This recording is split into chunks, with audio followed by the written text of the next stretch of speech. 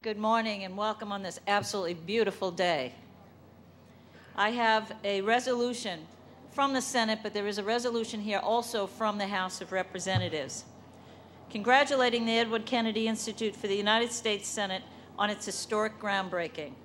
Whereas the Edward M. Kennedy Institute for the United States Senate will break ground on its state of the art facility on Friday, April 8, 2011.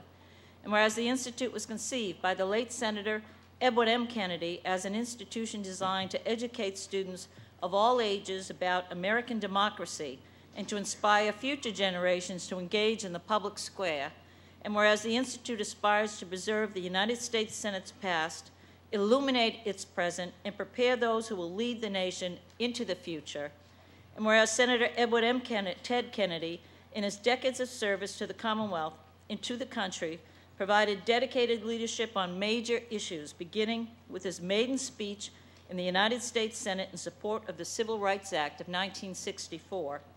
And whereas the Institute has honored Senator Kennedy's legendary commitment to public education by forming a partnership with the University of Massachusetts Boston that will benefit each institution for decades to come.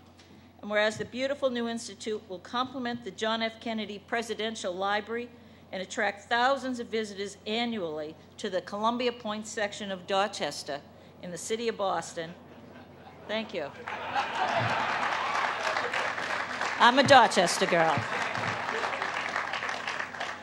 Therefore, be it resolved that the Massachusetts Senate hereby congratulates the Edward M. Kennedy Institute for the United States Senate on its historic groundbreaking, and be it further resolved that a copy of these resolutions be transmitted forthwith by the clerk of the Senate to the Edward M. Kennedy Institute for the United States Senate, and it is signed by all 40 Massachusetts senators.